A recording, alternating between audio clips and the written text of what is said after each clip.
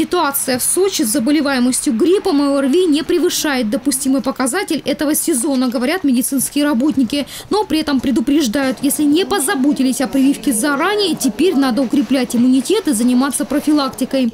Лук, чеснок, фрукты никто не отменял, а чистые руки всегда залог здоровья. Но при первых признаках заболевания нужно принимать противовирусные препараты. При повышении температуры сразу же к врачу, который сможет определить степень заболевания и назначить лечение. В наших аптеках представлены различные препараты противовирусные.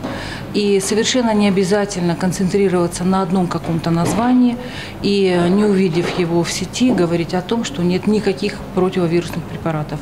Опять же, возвращаюсь к тому, что самому себе назначать лечение в корне неправильно. Мы всегда должны обратиться к врачу, тем более сейчас, когда у нас регистрируются случаи свиного гриппа. Отличается свиной грипп от обычного тем, что при свином осложнения начинаются очень быстро, уже практически на второй день, поэтому медлить нельзя, предупреждают врачи.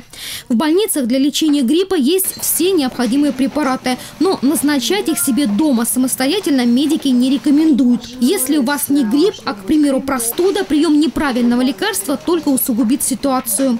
Эпидпорог в Сочи не превышен, однако аптеки подготовились к распространению вируса заранее. В ходе рейда выяснилось, и в муниципальных, и в частных аптеках противовирусные и симптоматические препараты в достаточном количестве. Мы были озабочены этой проблемой буквально сразу после Нового года. Были созданы большие запасы различных противогриппозных, противовирусных препаратов. А, но, к сожалению, очень много людей было. Да, то, что было, многие препараты были распроданы, но постепенно все это закупается. Сейчас у нас в достаточном количестве есть и кагацилы, ингаверины, эргофероны. А, на подходе у нас э, ремонтадин. Есть много детских сиропов, также противовирусных. В наличии маски, которые действительно в последнее время стали дефицитом. Но все аптеки Сочи постоянно следят за лекарственным ассортиментом, срочно закупают на базах недостающие препараты и более того охотно делятся между собой информацией.